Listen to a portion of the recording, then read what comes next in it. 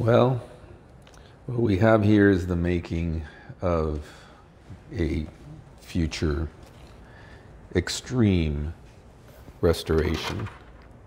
This is what I got in the mail. And unfortunately, through no fault of the seller, because this was actually pretty well packed, but the shipper must have had a field day with it because as good as the packing was, here's what we have to deal with as far as the keyboard is concerned. It's cracked pretty well throughout, end to end. So we'll see what we can do about restoring this keyboard. We haven't even gotten into what might be wrong with the computer because uh, it wasn't purchased as working, it was purchased as non-working. So we'll also see what's up with the computer itself and um, and I guess we'll have, like I said, a pretty extreme restoration here. So stay tuned and uh, let's see what we can make of this.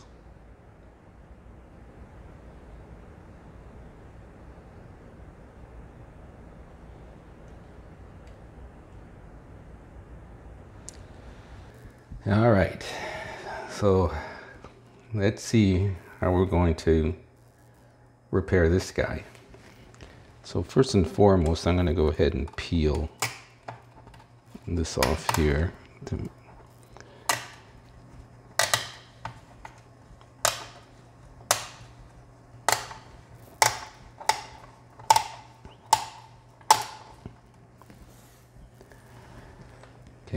We'll take care of that double face tape later.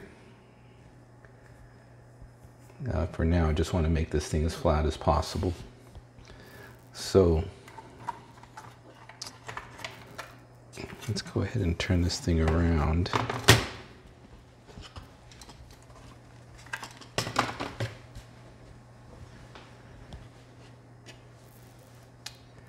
And let's start taking this thing apart here.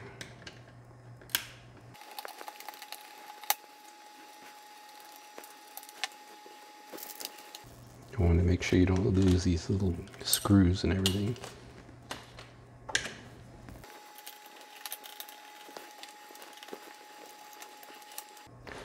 I'm taking this apart, I'm seeing more little pieces. well, it's going to be quite a restoration here.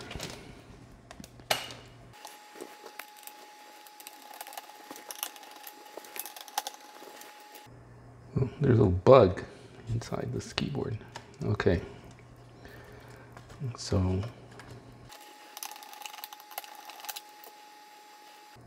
These two screws that hold this in are a little bit longer than the four screws in the front. Keep that in mind if you're taking one of these apart.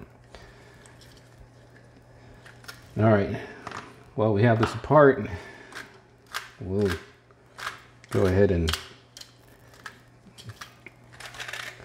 do the necessary cleaning and maybe clean the membrane while we're at it as well.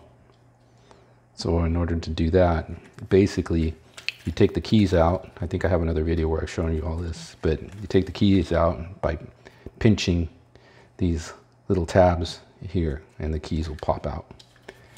Okay. So we'll get to that. But what's in front of us is this guy here. So what we're going to do is we're going to glue this from the back. There's more pieces. We'll start with the bigger pieces first here and get this all kind of glued together and then see what we have left where all these other pieces come into play. You know, it's a huge chunk missing here. So let's uh, let's get cracking with that.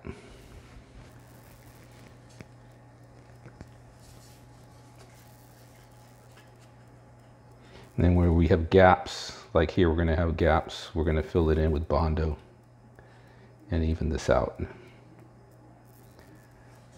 So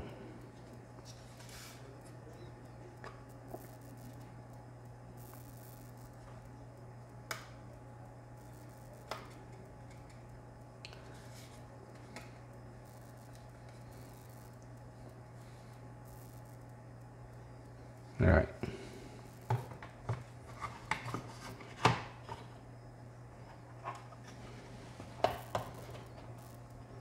I'm going to first put a little dab of glue here because I can't see the front from the other side and I'm afraid that if I just go ahead and glue the other side, the back side blindly, um, I might not see that there's a little bit of a step between the two pieces. So, not that we can't deal with it, and we will deal with it with Bondo later, because there will be little tiny gaps where the cracks are, but I want to try to make it as flat as possible. So, we'll get like a, a stiff ruler or something, you know, a piece of metal that's really flat and stiff and just press it on the back side when I'm gluing it or on the front side here when I'm gluing it from the back side. All right. Okay, so my glue of choice is Bob Smith Industries.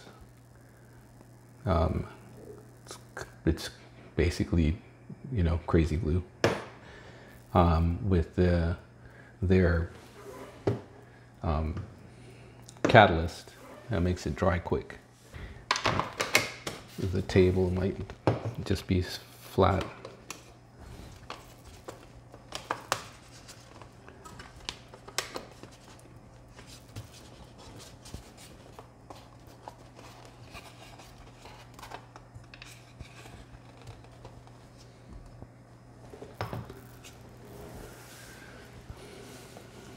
Okay, first thing I'm going to do is put a little drop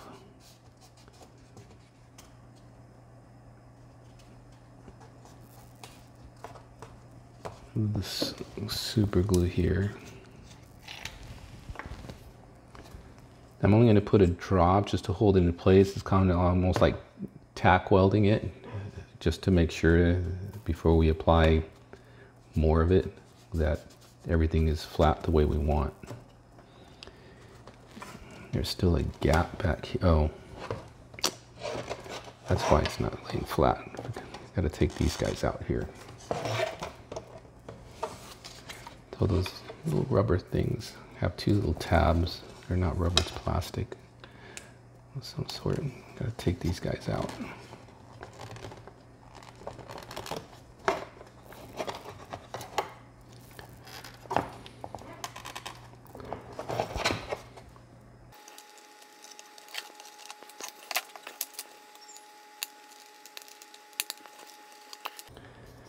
There we go. Now it should lay flat.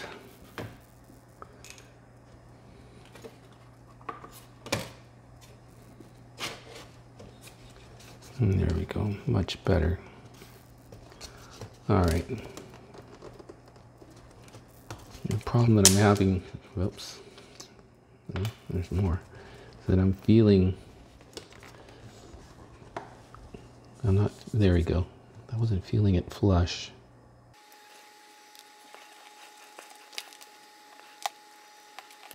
That should, that should harden it.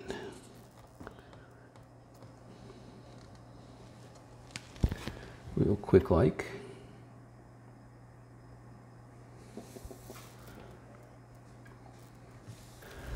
Get some of this excess off here.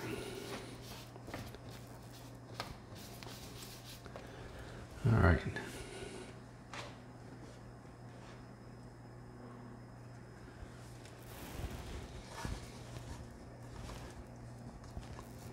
So we're going to have a little bit of sanding to get this perfectly flush on the front, but it's not too bad. So that's the main part. So we'll get the rest of this over here.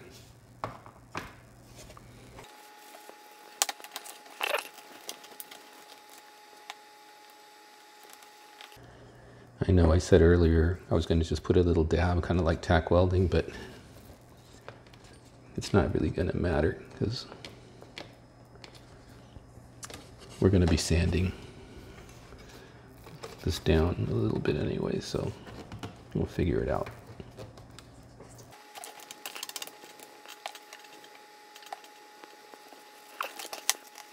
A little bit of a step there, but it's not too bad. Okay, let's get this crack here. Goes all the way to here, so see if I can see it from the back. It's hard to see. I want to strengthen it.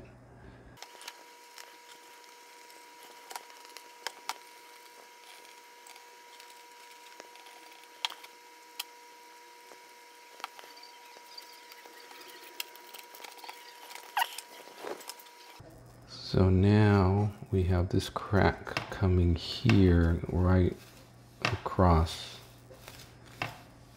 We got multiple cracks coming here.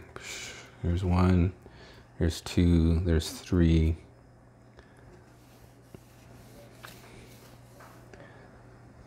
Okay, we got this one already. So let's work on this guy we can find it.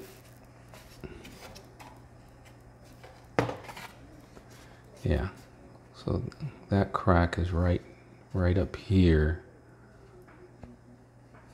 That crack's right up here, coming this way. I see it from here.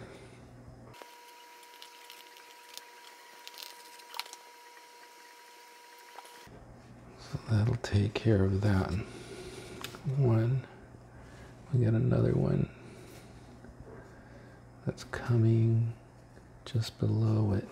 Can't really see it from the back, but I know that it's there because it's in the front. It's like around here somewhere. So what we'll do is we're going to be laying epoxy right above this to strengthen this even further. So we'll just epoxy this whole thing in the middle here. That's what we'll do. That way we're sure to add strength to it.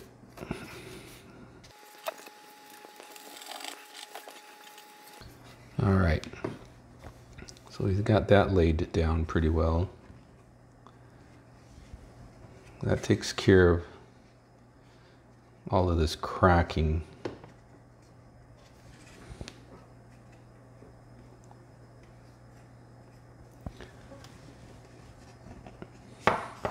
So now let's see about getting some of these pieces put back.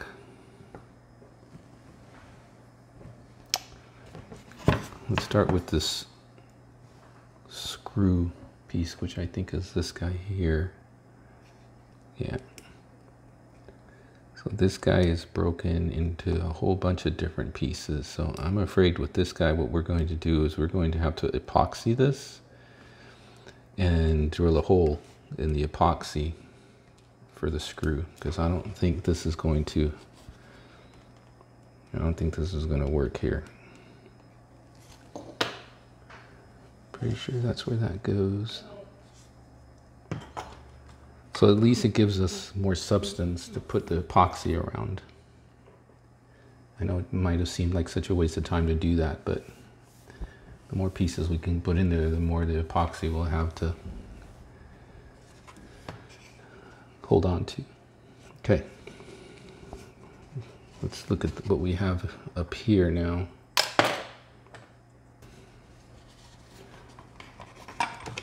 Okay, that's a simple one.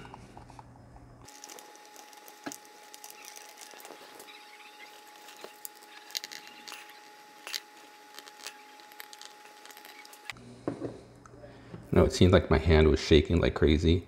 but It's because I'm squeezing that tube really, really hard. That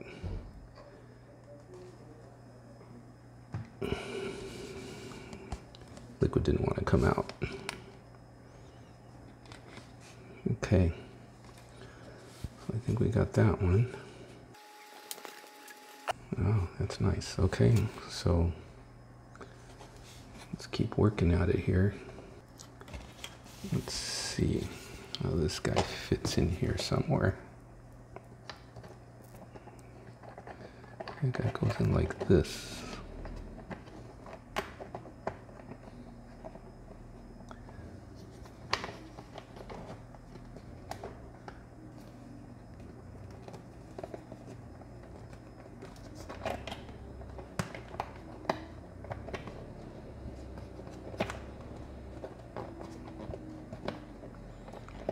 Okay, come on. Okay, so I kind of cheated and did that little corner that we were messing around with off camera. Um, it was just easier to do. So let's just continue this little journey of a puzzle of ours. Um, this guy here looks like this piece. Yeah, that's what's going to go there. So that's a nice fit too. Okay. Okay, so I taped this up so that way we can protect the the labeling on here. So I'm going to be using this glazing and spot putty. And what I'm going to do is basically just flow it over the cracks so it gets into the cracks itself.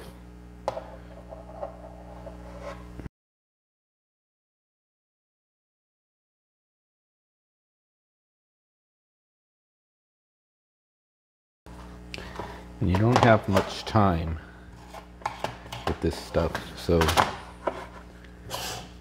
kind of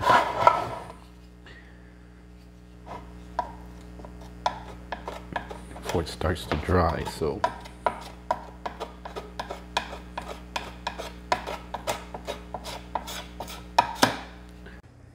Okay, so here we are after our first um, sanding, our first, I guess you can call it Bondo.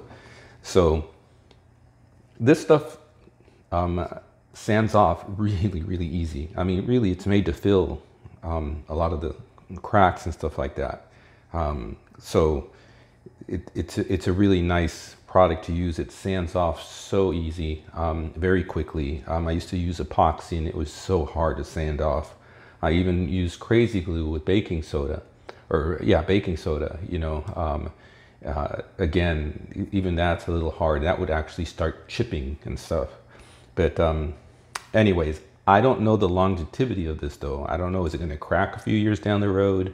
Um, so that's the only thing. But nonetheless, this is what we have. This took all of 20 minutes of sanding. Um, what you see here is this is the actual bare plastic color. So this is R1007, I think it is. Um, once I match it up, I'll, I'll post the link. Um, but it's a gunmetal um, color. Um, this is the original underneath the plastic. Um, this is very, very smooth. So these lines, that's where the Bondo comes in. It fills in all the cracks and then you just sand this down. Really nice. This is really smooth as well. It could use a little bit more.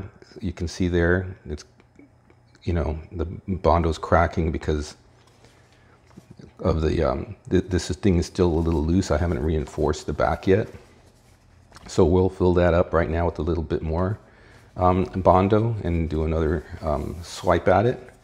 But all the other cracks are perfectly filled and very nice and smooth. I went over it with a medium coarse sandpaper, um, um, kind of like an emery cloth type of paper. Um, and then when I'm finished, I'll go over it with a fine, um, uh, the fine coarse um, paper. So the only thing I have left here is we'll fill out um, this one more time, do a second pass at the Bondo on the little tiny imperfections.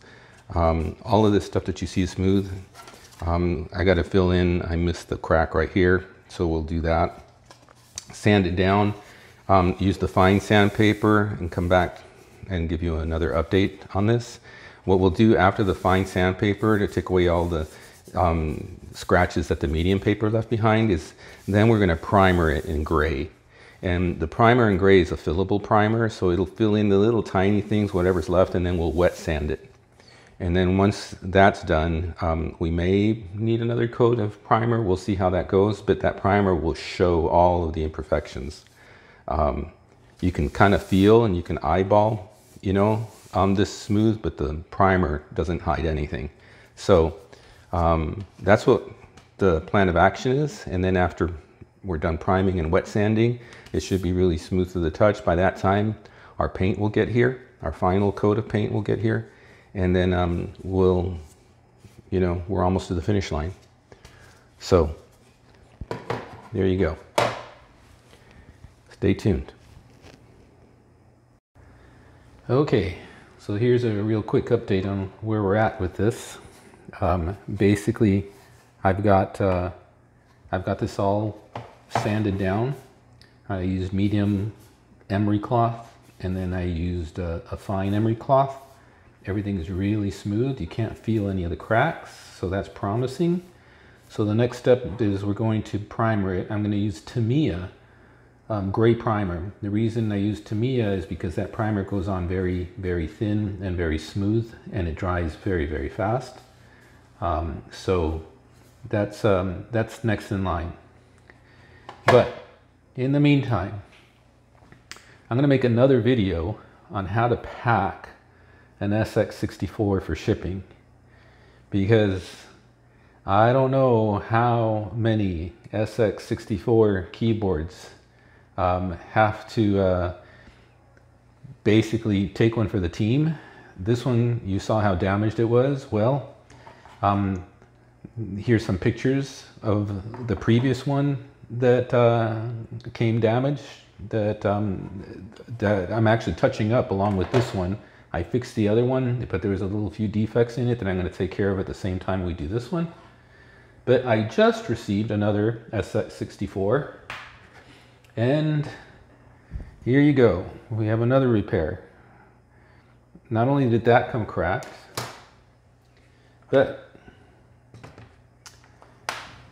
here are the remnants of this keyboard. No sooner had we started repairing that one that now we have a new one. Now this one's not as bad as this one that we're repairing now, but nonetheless, here we go again. Um, unbelievable that you know these things come damaged because they're just not packed very well. The keyboards are very fragile and they're just left to bounce around or um, not enough package material um, to where they sit against, you know, um, the walls of the boxes. I mean, there's it's just it's just disastrous. I, I just can't put into words. Uh, anyways, so here we have another keyboard, another keyboard to repair. So we might as well start that one and do it at the same time. So we'll figure out where all these pieces come from. And uh, yeah, go from there. So I'll give you another update once I get this all primed and everything. Um, and heck, I might as well throw that one in the video as well since I'm going to be painting everything at the same time. So stay tuned. My goodness. For God's sakes. We'll be back. Okay, here's a quick little update for you. We got this primed you can see, or primered, you can see there's no cracks visible anywhere. Um, so I must have done a pretty good job of sanding. Everything looks really nice and smooth and where it's supposed to be.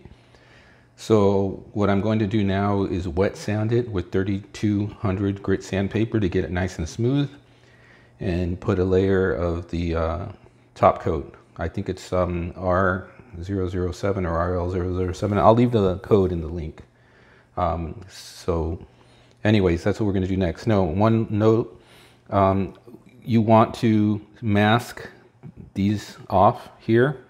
I don't have it in the picture, but I'm going to before I paint. You'll want to mask those off because if you paint in there, um, it'll thicken up the walls. And remember, you have the little slider that, uh, that goes in there that slides up and down the little locks. And if it gets skunked up with paint, one, you're going to have a hard time getting the little plastic protector piece in here. And the other is you're going to have a hard time with the, the, the little latch sliding up and down. So um, to prevent uh, sanding or grinding after the fact, I mask that off. And that way I get left with a real nice smooth um, area for the latch to slide up and down. So I'll give you another update once we get the layer of coat on here. And uh, yeah, so stay tuned. Okay, so I think we're done with uh, both keyboards. I'll go over the process that I used to paint these things. This one required the most amount of work. The other one is the second one that I received that was pretty messed up on the corners. But anyways, let's go ahead and take um, the tape off. I'm just scoring this just a little so I don't peel any of the paint with me when I tear this off.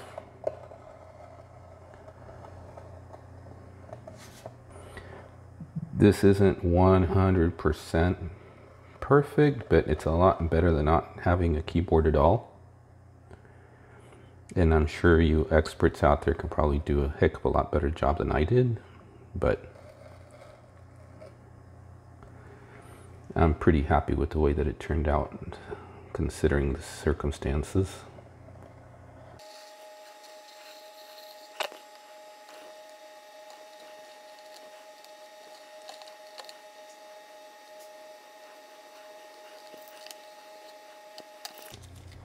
Okay, a little bit of tape that I'll clean up here afterwards a little bit more than what you see now.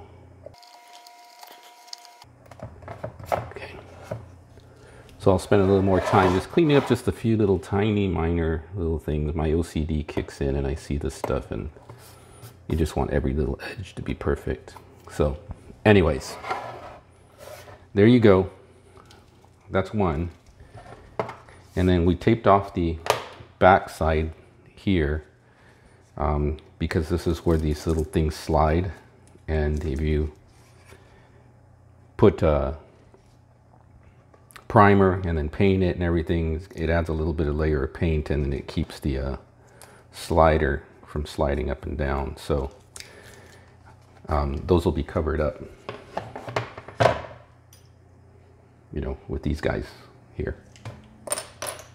So anyways, um, then what we do here is we put some double face tape on there. So let me get that real quick here.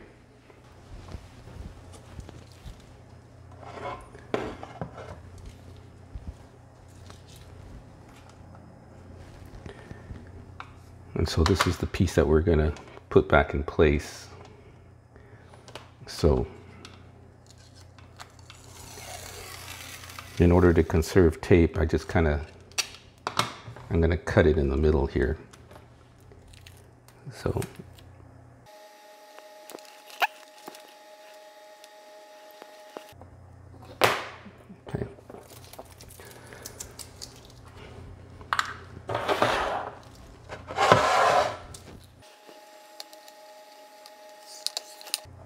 So what was here before was double face tape underneath as well when we took this out. So no different than before. So there we go. Now that's looking like it should. So let's do the other one here. We'll do this the same way.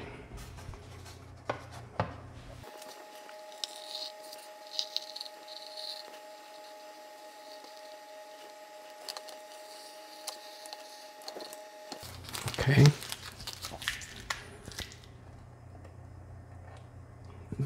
I'll clean some of the roughness off a little later so I don't bore you with that.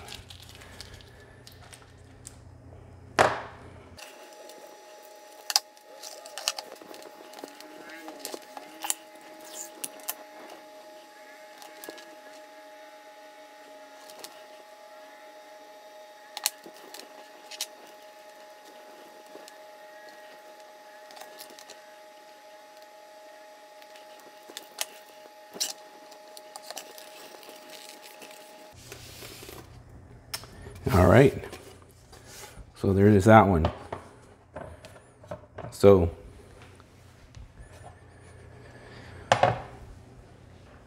So let's get the keyboard back together here.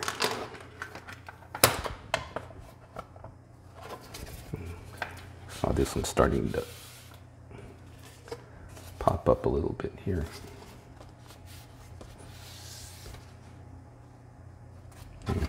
There we go. Okay, so first things first, I am not going to reinforce it with epoxy. I think for this one here, um, the cracks were thin enough to where the super glue um, pretty much took care of them. So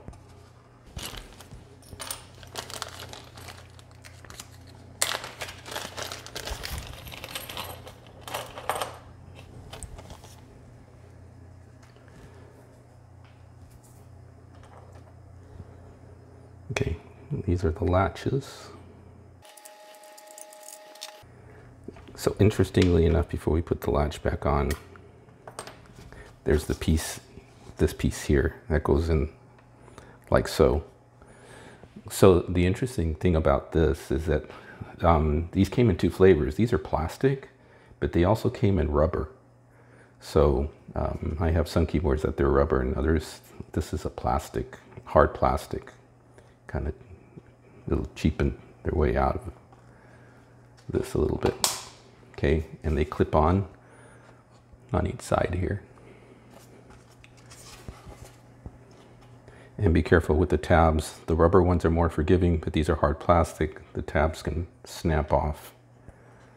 And then you'd have to end up gluing it in place, which kind of sucks.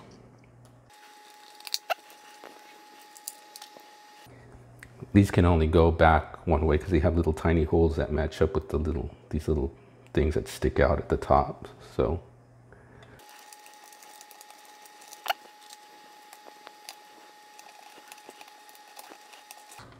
And be careful not to cross thread these things. You will snap the plastic if they're too tight.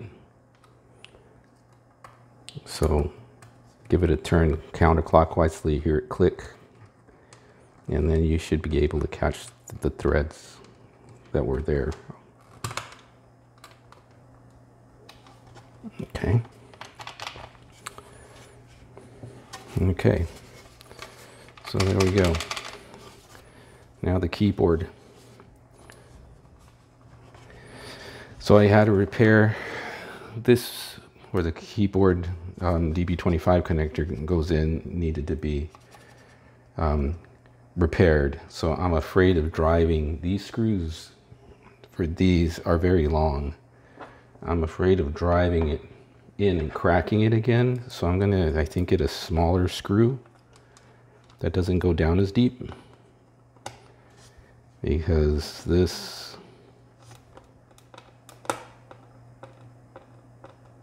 is a little scary. So Let's do that. This looked like a three millimeter screw, just so you know. So I have a three millimeter threaded screw here. And normally I would take the keyboard apart right now and uh, clean it up and replace the membrane, but this keyboard I tested it ahead of time and every single key works flawlessly. So I'm thinking it should be okay.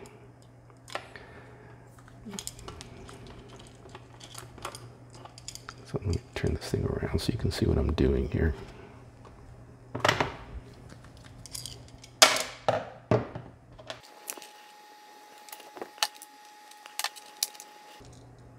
I forgot that the connector has to go underneath this. There we go.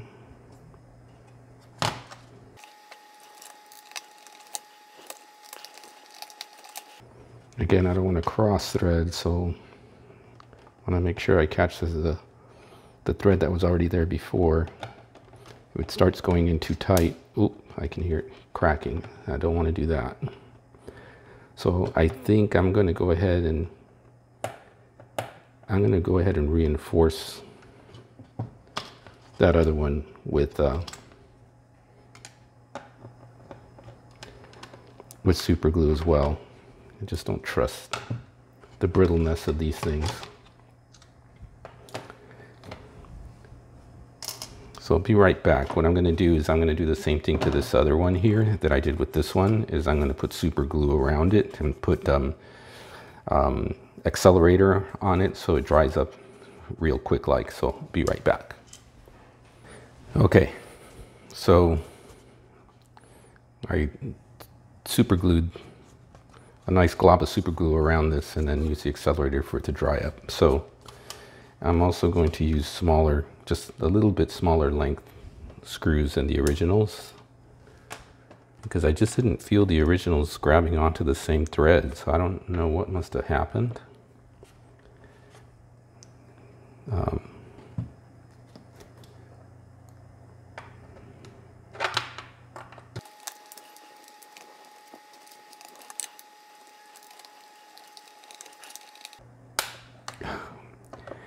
hear cracking and that just makes me really nervous.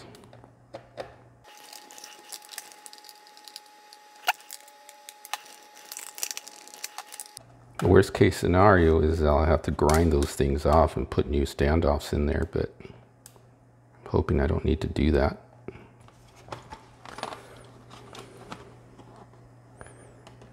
Just making sure nothing is cracked, so that looks good. All right. So the keyboard has these little recesses here at the top. Don't forget to put it in the recess because if you don't, it's not going to go back together very well.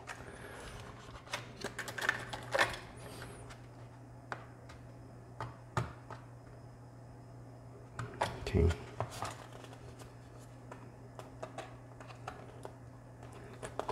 Okay, that feels good and sturdy.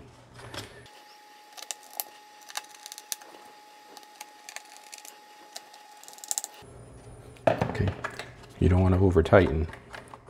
All right. So this then just uh, snaps back into place. Um, I usually put the front, it's got the longer tabs, put the front in, and then the top, which are smaller, will just snap back into place, opposite of how we took it apart. You can hear it snapping. Okay. So where we made the repair, boom, awesome. All right. Okay, so let's go over the paint. So the first thing I do is obviously you already seen, I put the Bondo, I sand it so everything's smooth. I then primer it. I use Tamiya primer because it's very thin. Um, it's for RC hard bodies.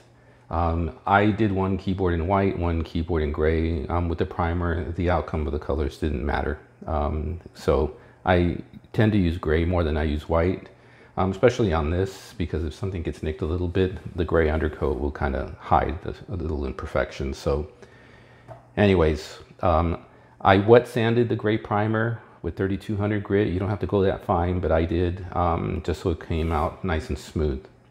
So after that primer, and you saw that, you saw what it, that looked like um, earlier. After that, we get to the paint. Now you can get this paint it's uh, from Crosslink Paints. Um, it's in the U.S. Um, they will make the aerosol can um, for you, um, the spray can. Um, it's RAL 9007 gray aluminum. I use semi-gloss because it looked like the original keyboard was semi-gloss, so I went with semi-gloss. I didn't use glossy, but they also have it in gloss. Um, the website link is www.crosslinkpaints.com, RAL 9007 that's, um, that's the aluminum, um, the gray aluminum that I used. Now, about this paint, it's an acrylic enamel. Um, be real careful. You have to have consistency when you're spraying the paint. Start beyond the case and spray consistently uh, all the way beyond the case again. And you have to have an even flow and you have to keep about six inches from it. If you even pause just a little bit, you know, like I just did right there, see how I just paused just a little bit? There will be a color shift. So this paint is really, really that sensitive. It also takes a long time to dry. The Tamiya primer takes about 10 minutes to dry. Um, this, I left it for two days just to make sure that it dries, um, that it dries or that it hardened um, well enough for me to do my next step, which you don't really need to do. I put two coats of this on. I light mist coat it first and then the harder coat afterwards. Um, I put two coats of this on and that typically might just be enough protection, you know, because the paint is kind of hard. But I take it a little one step further. Um, I use I use a lot of Dupli-Color in the hard body RCs that I paint. Um, so I have a lot of Dupli-Color product. Um, and one of the things that I finish them off with is the Dupli-Color clear coat finish. So that's what I did here. I just sprayed one coat of this clear coat finish on there. Again, be consistent um, because you don't want to mess up all the good work you just did because you didn't lay the clear coat on well. So it's a risk that you take if you're not proficient at um, laying it down. Um, you may want to consider that. But anyways, so I put a coat of clear coat on there just to protect it a little further. So this is what we ended up with. Um, get these in the picture here a little bit. Um, so let's uh, let's see what this looks like um, with uh, compared to a, a keyboard, um, a stock keyboard. Uh, as fast as I put those in the picture, I'm taking it right back out. So this is a stock keyboard right here. So very little difference. The differences come out like in the light a little bit, you know, because of the reflection of the light when you move these things around. But if I keep them equal, looks the same. So really happy with how it came out. You know, basically, you know, looks it looks like just a regular keyboard and you saw the mess that it was, you know, earlier. The other keyboard's going to end up, you know, the same way. Um, so, yeah. So I hope that that shows you, you know, the ease of restoration that, uh, well, the ease, I mean, you know, it's relative, right? But keyboards get damaged a lot in shipping. Um, and I'm almost tempted to make a video, like, you know, look, I, a tip, if you're gonna, if you're gonna ship an SX64, the weight of the SX64 um, is, is pretty, it's pretty hefty if you're going to ship, spend the extra time and money to get a bigger box, to make sure it's bubble wrapped. I normally put the handle up. When I ship in the box, I put the handle up. So that adds a layer of air and protection between the handle and the keyboard. And then inside, underneath the handle, I wrap the SX64 in three layers of bubble wrap this way, and then I wrap another two or three layers this way. So it's cross layered. And then I get a box big enough to lay that whole thing in. Yes, it takes more bubble wrap. Yes, it takes a bigger box. Yes, it's gonna cost more to ship, but you won't get the mess that I end up getting with these keyboards being damaged because they leave the handle down in order to get a smaller box. They think foam, you know, uh, and, and, I'm not disparaging the shippers. I mean, they folks don't may not realize, but they use foam, and the foam compresses a great deal, and it doesn't really protect the case. As soon as that gets tossed around, and you know, with the handle down, the foam is exposing the keyboard actually because that foam is going to compress, and the keyboard is still going to get nailed. So my advice, if you ship these things, make sure you keep the handle up to protect the keyboard and wrap the whole thing, you know, in bubble wrap, you know, at least minimum two layers, um, not the small tiny bubble, the thick bubble wrap. Um, and, and just pat it as much as you can. trust me, the cost of a bigger box with more protection inside will outweigh a buyer telling you they got it damaged and then you being stuck with either getting the return back or taking a really good amount of money off of what you just sold this for. So there's my ranting and raving advice. So hope this uh, got you something, you know, you know, new as far as, you know, maybe a tip or two. And uh, yeah, I think that'll wrap it up. So like I always say, as usual, you know it, um, live for today. You only live once. Enjoy the heck out of it and peace out.